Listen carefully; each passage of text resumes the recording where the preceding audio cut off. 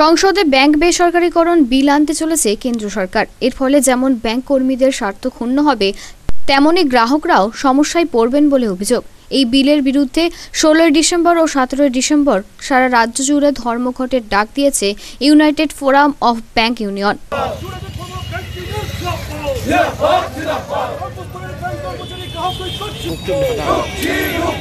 বিকাল ব্যাংক করুন। জিন্দাবাদ। এইভাবে ব্যাংকের দরজা খুলছে না খুলবে না। এই সবাই সতেরোই ডিসেম্বর ব্যাংকের দরজা খুলছে না খুলবে না। দেশ বিক্রির বাজার। জিন্দাবাদ কার পুকার ইনকলাব জিন্দাবাদ। বাঁচাও ব্যাংক বাঁচাও। দেশ বাঁচাও। রেবিউ তাকে আগে আজকে সারা দেশ জুড়ে ব্যাংক ধর্মঘট হচ্ছে। ইউনাইটেড ফোরাম অফ ব্যাংক ইউনিভার্সিটির ডাকে, আজ এবং আগামীকাল এই দুদিনের আটচল্লিশ ঘণ্টা ব্যাংক ধর্মঘট। কেন্দ্রীয় সরকারের যে ব্যাংকিং, বেসরকারিকরণের যে নীতি এবং বেসরকারিকরণের লক্ষ্যে যে এই শীতকালীন অধিবেশনে বিল আনার চেষ্টা করছে, তার বিরুদ্ধেই ধর্মঘট।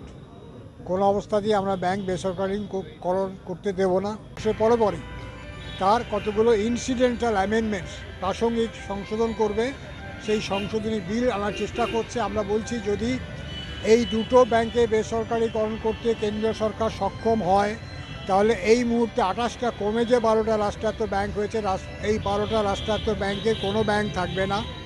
কোঅপারেটিভ ব্যাংক থাকবে না, গ্রামীণ ব্যাংক থাকবে না, নেভার থাকবে না, রিজার্ভ ব্যাংক থেকেও না থাকার মতো অবস্থায় যাবে। এইটা আমরা হতে দিতে পারি না। আর এটা যদি সাকসেসফুল হয়, তাহলে দেশের মানুষের যে আমানত, সেই আমানতের সঞ্চয়ের কোনো নিরাপত্তা থাকবে না। আমাদের দেশের মাননীয় প্রধানমন্ত্রী অ্যাড্রেস করতে গিয়ে বলেছেন, যে এমন একটা দিন আনতে যাচ্ছি আমি, যেখানে সারা ভারতবর্ষে কোনো ব্যাংক থাকবে না, কোনো শাখা থাকবে না। তার মানে আমাদের আশঙ্কাটা ঠিক। আর অন্যদিকে বলা হচ্ছে, যার যাই আমানত থাকুক না কেন, পাঁচ পাঁচ লাখ টাকার বেশি সরকার দেবে না। যদি কোনো ব্যাংক উঠেও যায় তার উঠে যাওয়ার একটা পরিকল্পনা তারা নিচে এই যে ডিজাইন এই ডিজাইনের বিরুদ্ধে আমাদের লড়াই। এটা কোনো অর্থনৈতিক সিদ্ধান্ত না। কোনো ইকোনমিক এজেন্ডা না ইকোনমিক ফেনোমেনান না। এটা অত্যন্ত very much political phenomenon and we are oppose to that type of political phenomena যেটা হচ্ছে anti employee anti people anti nation এটাকে আমাদের প্রত্যাহার করাতেই হবে। এই কর্পোরেট ক্যাপিটাল যদি গভর্নেন্সের জায়গায় আরও বেশি বেশি করে আসে তাহলে একটা দিন আসবে আমাদের আশঙ্কা উই আর অ্যাফ্রেড যে রাষ্ট্রটাও আর সবারেন রাষ্ট্র থাকবে না এটা কর্পোরেট রাষ্ট্র হয়ে যাবে। আমরা এটা মানতে পারি না সচেতন ট্রেড ইউনিয়ন আন্দোলনের কর্মী হিসাবে। এর বিরুদ্ধেই আমরা আন্দোলন এই সেই আন্দোলনের দৃষ্টিভঙ্গি থেকে আমরা ব্যাংক কর্মচারীদের এই দুদিনে ধর্মঘটকে দেখছি। শুধু আমরা দেখছি না আমরা এক মিনিট শুধু দেখছি না ভারতবর্ষের এমন কোনো সংগঠন নেই, এমন কোনো সংগঠিত আন্দোলন নেই যারা এই আন্দোলনকে সমর্থন না করছেন।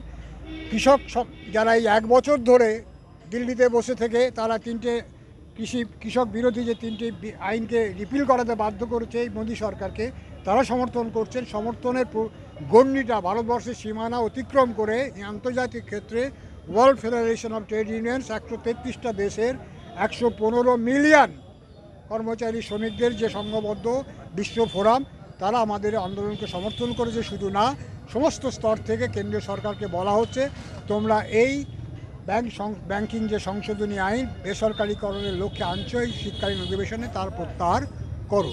এই জাতীয় পতাকা নিয়ে এই আন্দোলন করার উদ্দেশ্যটা কি জাতীয় পতাকা মানে আজকে কেন্দ্রীয় কেন্দ্রীয় সরকার তারা নির্বাচিত কেন্দ্রীয় সরকার জাতীয় পতাকা একটা সাংবিধানিক একটা একটা প্রতীক।